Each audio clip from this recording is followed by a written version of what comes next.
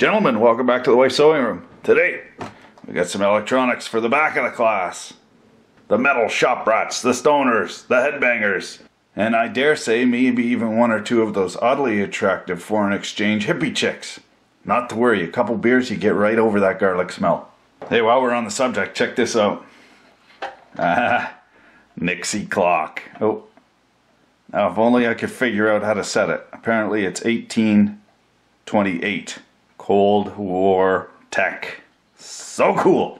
Anywho's it's this is not that. What we are going to do today is electronics by Lego. Unfortunately, what you'll see a lot of times in electronics forums and whatnot, it, when you go down that rabbit hole, is guys are, are they're making their own chips for God's sakes, like just going bananas, you know, starting with the little tiny jelly beans and making the whole so yada yada yada. Here we're taking a macro and we're just buying the components we need, the boards we need, in order to uh, hack everyday items. Well, this is an everyday item. It's I got it from the dollar store. Three Canadian pesos for this. It's an alt button, and you hit the hit the bouton. Oh, and it doesn't work. There we go. You hit the bouton, turns on, turns off. So you know, just a little tchotchke for the desk. But we're actually going to make this cool. Now, first off, this is extremely simple. And for three bucks, you can't go wrong. It's got a connect orb, and it's got that battery compartment, and a, uh, a latching tactile switch. When you turn it on, there you go. hey, five out of six ain't bad, am I right? So we got the LEDs that light up, and then this is just a big old plastic case. Now, I bought this, and it's been sitting in the junk bin so, uh, however, I came across this on the uh, interwebs. It's a voice module. Oh, and it needs to be powered. But it records and plays back. Hmm? Hmm? Does that give you any ideas? It does me. Und first off, we're going to demold these white LEDs and replace them with Eastern European Dance Party LEDs. Now, while we're waiting for the Burninator to get red hot, we'll take a look at this thing. Now this is uh, 3 to 5 volts. You find this on the usual suspect, AliExpress, uh, Fleabay, you know, Taobao, all those crappy places. No, I don't have a link. I, it was 2 bucks. You'll find it. Not to worry, you'll find it. See, there's there's, there's even numbers on there. See? Yeah. So if you hit play and you have power, my mistake, uh, you can play back whatever it records via this little recording device here. That's a microphone and a microcontroller or a little chip and a couple of capacitors on there and some tactile switches. Nice snap action tactile switches. Oh, and the most impotent part, the speak orb. Oh, son of a diddly. Look at that. Done busted the wire off. Of course, uh, they're succumbing to Her Majesty's Imperial Decree that solder should contain no lead. Son of a diddly. Okay, we're gonna have to use a vise here. A vise is a is a beautiful thing. Even a crappy vise is better than no vise.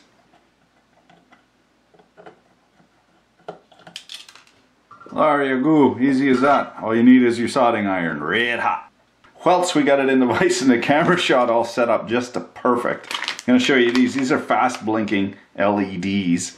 Uh, we want the fast. There's also slow blinking can get a, a, shit ton of these for like 20 cents, uh, you Continental Metric boys. 2.2 ass loads for 20 cents. Now we got them all installated. Pro tip here, cause I cut the little pips off here, the retention pips with the flush cutting side cutters, um, it doesn't want to stay in there, but what you can do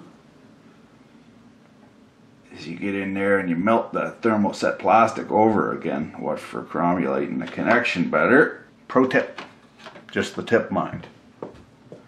Oh, I hear the pitter patter of little feet. Chickadee? Qu'est-ce qui se passe, ma jolie? Hello. Glue. What glue is stars? okay, d'accord, vas-y. Ah, she just came in to get some glue to glue some stars, apparently. Uh, I better go. Uh-huh. There we go. Okay. Okay, check this out. Oh, yeah. But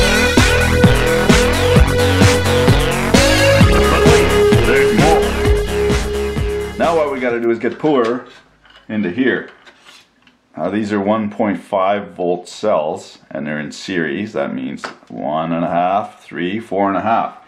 This runs on, as I said, three to five volts. Perfect. So we take the VCC pin here, which is power in, and the GND, ground, which is power out. Oh, I'm not even going to say it. Oh, I just had to go with the scrap bin here of useless stuff that I just can't bring myself to throw out. What do you know?